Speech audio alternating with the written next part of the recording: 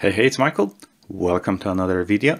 And this time we're gonna, I'm gonna show you how to start using search functionality. And this is gonna be the, the first part, yes, because it's a very large subject. So I decided to split this apart. So please, please uh, stay tuned because this also lesson could be a little bit, little bit longer than normal. All right, so before we're gonna actually jump and talk about the search functionality in Jira, why this is so, so, so important? Well, because in my opinion, search is like the most important element if you are Scrum Master Manager, business analyst, or you know product owner. Why? Because you need to know exactly what is going on inside your team. You need that visibility and search is across everywhere in jira. That includes boards that includes dashboards and yes reports the crucial part of jira. All right so in this video by the end basically by the end of this video you will be able to use the global and the basic search functionality and I believe over here yeah, you're gonna find a link to the part two, which I'm gonna talk about the JQL. And again, I will be using Jira Cloud. However, if you're using Jira Server, most of the steps are very, very similar. Obviously, in the, in the Jira Server data center, the interface is a little different, but they're still pretty much similar. All right, let's do it and jump to Jira Cloud. Okay, so as I told you, we will be using Jira Cloud, uh, but when you're using server is, is very, very similar. But let's actually start from the basic functionality and we're going to talk about how the search works in Jira because there are like three levels. So the first level is the global one. The second level is through the filters, actually from the, we go from the project, which is the basic, uh, more precise when you can actually decide whatever you want, how many projects, how many statuses, how many types. And the third one is more advanced, which we're not going to talk this time. I, am going to record a separate video about this uh, because it's actually more complex to that. And please, please, if you if you want to consider subscribing to the channel because it helps me a lot. Right. So let's actually explain the basic functionality of the search in a global way. So the global search is always located on the right hand side on the top menu. So if you navigate to the uh, search bar, just like really nice expanding. And now if for instance I'm looking for a keyword called demo, it, Jira is going to provide me a result in whole Jira. So every single ticket, boards, even people, yeah, even filters, which we're going to talk about this. And on top of it, you can also search across Confluence. So you don't have to like just go to the chessboard switching to Confluence because you just need to switch to the second tab. And if you've like me got a Bitbucket, why not? It is going to search across everywhere. Yeah. So yes, I am using, um, let's say I don't use that much that global functionality. However, yes, sometimes it is super, super uh, helpful because like, you know, sometimes some, someone is asking me for some specific keyword. So it's quicker, know, just, just navigate to this top, top bar, uh, put that name and it's going to provide all results. Or for instance, you know, like I don't know why, uh, sometimes people saying, hey, Mike, can you check NDD dash three? So I'm just like putting over here and I know, okay, yeah, I've got this plus. Uh, it's going to provide me the, the name of the board, and even even if, if there are some um, projects associated with that uh, ticket. So pretty cool. I also believe um, that the global search use the operators like the boolean stuff like we can look at for demo plus Mike so I believe that plus is end.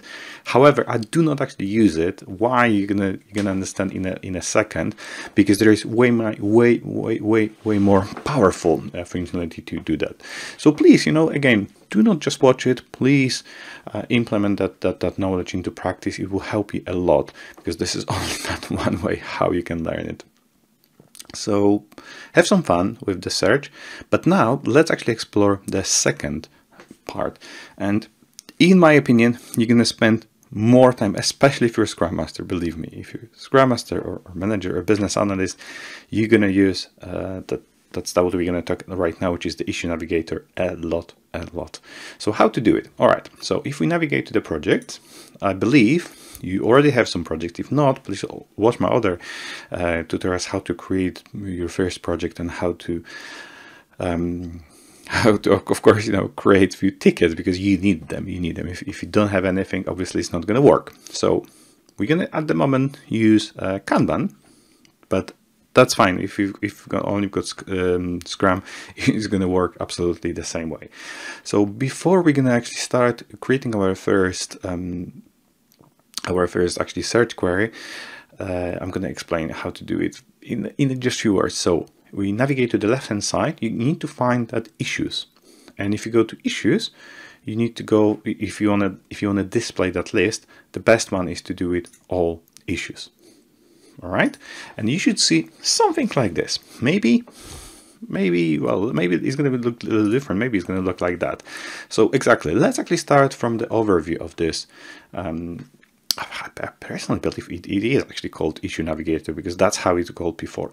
So um, yes, there is another one, the advanced, that like yes, advanced issue navigator. However, I personally believe somehow Atlassian is going to merge it in together because I cannot really fully understand why is that advanced if we're going to switch to that. Yes, I believe maybe that even this is the issue navigator, but if we're going to use JQL, it's not going to use the coloring. So I'm going to actually stay over here. So let's very quickly overview this screen, what we have over here. Of course, you know, we still got our search uh, of the keyword, which we're going to use it in a second. But here, as I told you before, we have details view and issue view. So it's pretty cool because if you actually go to the details view, you're going to see what is inside on that left-hand side, what is inside, like inside, what is actually, a, what is part of the task. But most of the time, me and of course other Scrum Masters, I believe, use the list view. So this is actually how, because sometimes people keep asking me, oh my, I can't replicate it. Uh, my my um, my search navigator, however I call it, looks different. Yeah, so make sure you've got a list view. And also please make sure this time we're only going to focus on the basic functionality. JQL is the next next video, which is coming very soon. All right, so let's actually, again, have uh, fun with our demo word. I'm going to search it. And as you can see, something interesting happens over here because the, my project is already selected. Yeah, so look, if I'm going to actually select three more projects, of course, it's going to be more results, 14 tickets. But now we've got like full control and and I really, really like this functionality because you can build even sophisticated query in a matter of minutes. Look, I'm going to go now and use the type. Type, obviously, what is type? The type, because task may be story. And again, I'm going to select tasks and stories. So obviously, because I've got mainly uh, stories, so it's reducing. So I've got 13. But maybe I would like to also have the status just to do. So you're going down. Wow, great. Okay, look, we've got five tickets. So in, like I said, just few clicks, you can build pretty much a sophisticated query. And of course, you know, if you want to assign, you've got only one user, uh, why not? You can do it. I don't have any, nothing is assigned to me, but that's still absolutely fine. What about reporter, you can ask?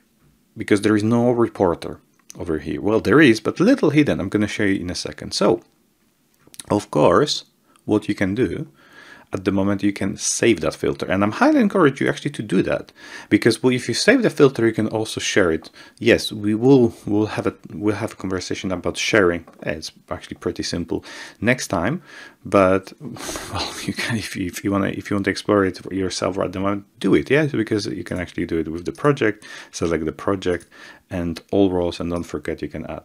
But we're gonna we're gonna have this a little bit more about this in the in the in the next uh, coming video about the uh, advanced search functionality. Right, so now let's actually focus on um, fields which are not present on this actually top top top section. So what about the reporter? Of course, reporter is still here. However, you have to use the more. And if you click the more, look at this, there is more to that. However, not everything. Please be aware that not every single custom field is going to be located because the list is pretty small, but if you actually start typing, so like I'm not going to start typing, like for instance, components, components actually are not here. This is a very good example. Why? Not sure why, but we can we can use advanced functionality next time and I'm going to show you how to filter, um, how to create a filter based on the components. However, we're not going to talk about this right now. So let's select reporter. And of course, you know, I have a, only one user and assign. And if I want to go narrow it down, we'll go for, for, for current user and there you go, ready. So again, you know, if you, if you, this is what you want, don't forget to save it, yeah? All right, but let's actually explore something even more interesting. So I'm gonna say nothing is selected because I would like to show you um, one pretty cool functionality regarding due date. Because unfortunately, due date, again, well, not unfortunately, this is how that functionality works, is not going to be present over here on this on this top section. However, yes, it is in a more. So again, look at this. I've got this actually one or two examples. Like the project is SSB, so I know it is SSB sample scrum project okay and i've got only two issues so i would like to i would like to see uh, all tickets which got selected due date and due date is let's say more than two weeks all right, like how to do it. So again, we go for more. Start typing maybe. Uh, the, the due date I think was on the list. Due, not due, due date. There you go. And I'm gonna go for more than and weeks and say four update. And of course, you know, because it's more than four, but at the moment, Jira is going to provide the results for those two tickets. Look how cool it is. And again, if I want to save it, I will press the save button and later I can utilize that functionality.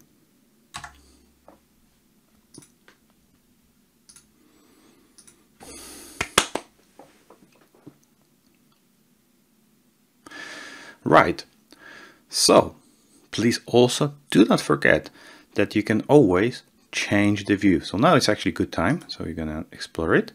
Still two results, but if you're looking for a little bit more information, you're to find them on that right hand side. But what about, let's actually go back a little bit to the... All right, so it looks like our filter works pretty okay, but now let's explore something else because what is going to happen, for instance, if one of the results which we're looking for is not located on our grid, as I call it grid. Yes, of course, you can always go to the details view. And for instance, I don't know, we're looking for a label. Yeah, so like we've got sample space, whatever, it doesn't really matter. Yeah. So what if I would like to add that labels to this grid? Again, it's a pretty simple operation. You have to navigate to this, as we call it, meatballs. And I believe you need to find just the labels. Okay. Let's update. So looks like our filter works pretty great. However, there's one little issue with this view and we're going to explore the advanced search. Because look, for example, I would like to add to this grid, as we call it, extra result, which is, for example, whatever, it doesn't really matter too much, it's going to be a label. So of course, you know, I can always switch the details view and if I click on the left hand side, you're going to see the labels located on that right hand side, which is associated with that issue. But what about that list view? Can we add it right here? So I believe, unfortunately I've done research and I believe it, it, it is not that simple to add it to this view. That's why we're going to use advanced search. And don't worry, it's absolutely going to be fine because it is look it is looking very, very similar. So if I hit that advanced, What's happened? The view is a little bit changed. However, we can modify columns right now. So if I am looking for labels, labels, select, done. And as you can see, it has been added to this view. So in that, that case, this is how you're gonna modify it and you need to find that right balance, what works for you. But I'm highly encourage you to use like this basic functionality built into the project. But anytime you can always switch to advanced, well, to advance this view because it's not advanced. It's a little confusing. We're not switching to JQL still, but it's like this advanced kind of um, screen.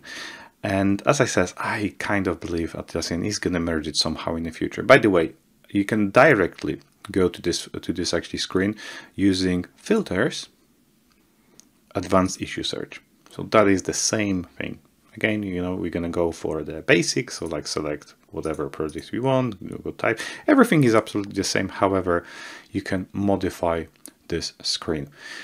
Right, so I'm gonna finish over here. Thank you very much for watching, Pandango anywhere because I believe in this section you're gonna find part two when I'm going to show you about the JQL, how to very quickly uh, move from the basic functionality to, to, more advanced. Plus, I've got a little surprise to you. Uh, in the description, you're gonna find a link how to download this document, how to start, and also you're gonna find additional resources in the description. So thank you very much, and I hope to see you very soon in that next video.